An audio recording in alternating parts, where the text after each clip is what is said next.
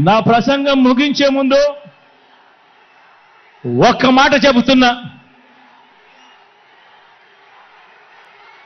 మన మేనిఫెస్టో త్వరలో విడుదల చేస్తాం.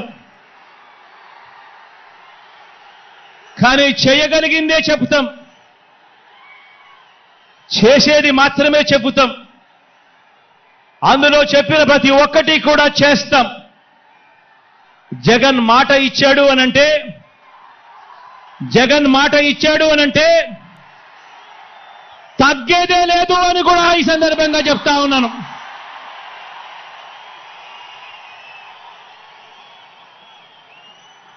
ఆంధ్రప్రదేశ్లో మనం ప్రారంభించిన పరిపాలన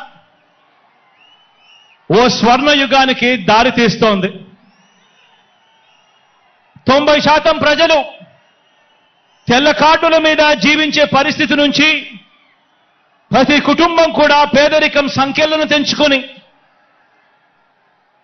ఆ పేదరికం సంఖ్యలను తెంచుకొని వాళ్ళు అడుగులు ముందుకు వేసే పరిస్థితి రావాలన్నది నా కల.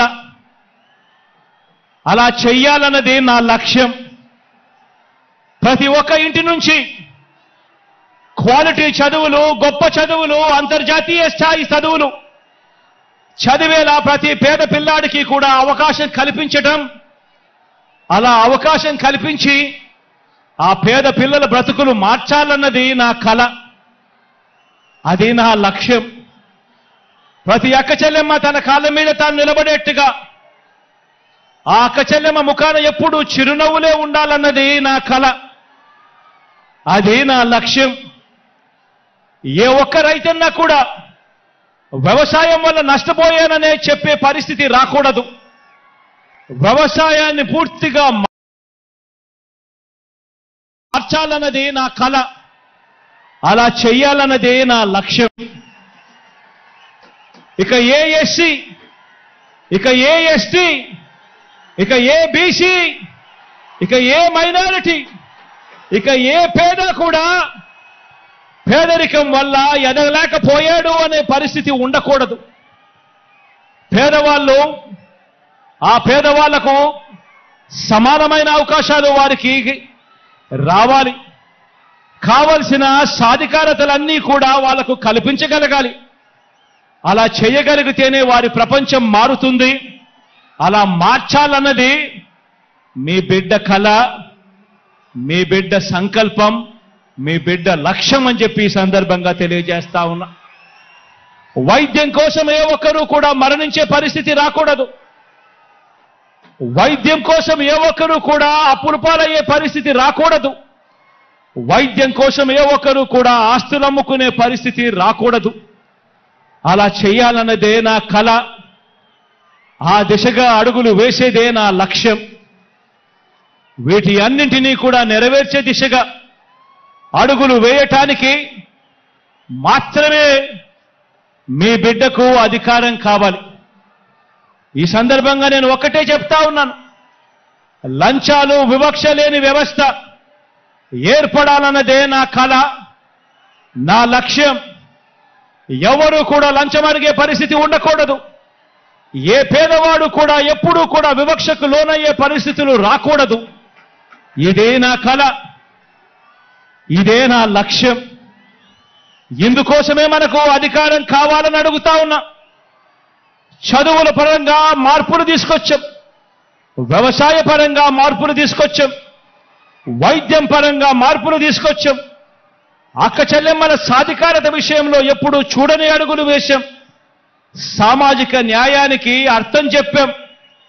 పారిశ్రామికంగా మౌలికంగా మౌలిక సదుపాయాల పరంగా ఉద్యోగ ఉపాధి అవకాశాల పరంగా ఎప్పుడు చూడనట్టుగా ఏపీని నంబర్ వన్ దిశగా అడుగులు వేయటానికి అడుగులు వేగంగా పడుతూ కృషి చేస్తా ఉన్నాం. అద్భుత ఫలితాలు ఇచ్చేలా అడుగులు వేయాలన్నది వేస్తా ఉన్నది. ఈ ప్రయాణం మధ్యలో ఉన్నది. ఈ ప్రయాణం ముందుకు పోవాలి. పేదవాడి భవిష్యత్ మారే పరిస్థితి రావాలి అన్నదే నా కళ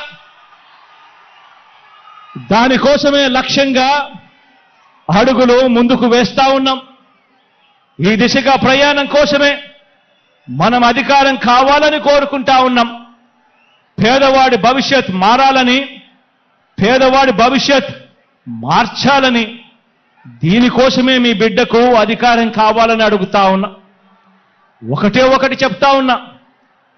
అధికారం అంటే మీ బిడ్డకు వ్యామోహం లేదు. అధికారం పోతుంది అన్న భయం మీ బిడ్డలో ఎప్పుడూ కూడా ఉండదు రాదు అని కూడా ఈ సందర్భంగా చెప్తా ఉన్నా. మీ బిడ్డ అధికారం కోరుకునేది ఒక్కటే. కేవలం ఒకే ఒక కారణం కోసమే మీ బిడ్డ అధికారం కోరుకుంటాడు. అది కారణం ఏమిటేనంటే హిస్టరీ ఉన్నంత కాలం హిస్టరీ ఉన్నంత కాలం మీ బిడ్డ పేరు ప్రతి హిస్టరీ బుక్లో ఉండిపోవాలన్నదే మీ బిడ్డ కోరిక. మీ బిడ్డకు అధికారం ఎందుకు కావాలో తెలుసా? ప్రతి పేదవాడి ముఖంలో చిరునవ్వును చూడడం కోసం. మీ బిడ్డకు అధికారం ఎందుకు కావాలో తెలుసా? ప్రతి పేదవాడి ఇంట్లో కూడా మీ బిడ్డ ఫోటో చిరకాలం ఉండాలని చనిపోయిన తర్వాత కూడా మీ బిడ్డ ఎప్పుడూ పేదవాడి గుండెల్లో బతికే ఉండడం కోసం మీ బిడ్డకు అధికారం కావాలి. దానికోసమే మీ బిడ్డ అధికారం అడుగుతున్నాడు. దానికోసమే మీ బిడ్డ పరితపిస్తా ఉన్నాడు. మంచి చేయడం కోసం మంచి మనసుతో మీ బిడ్డ సంకల్పిస్తా ఉన్నాడు. దేవుడు దయ ప్రజలందరి జీవన్లు ఎల్లకాలం ఉండాలని కోరుకుంటా ఉన్నాడు. అలాగే కార్యకర్తలకు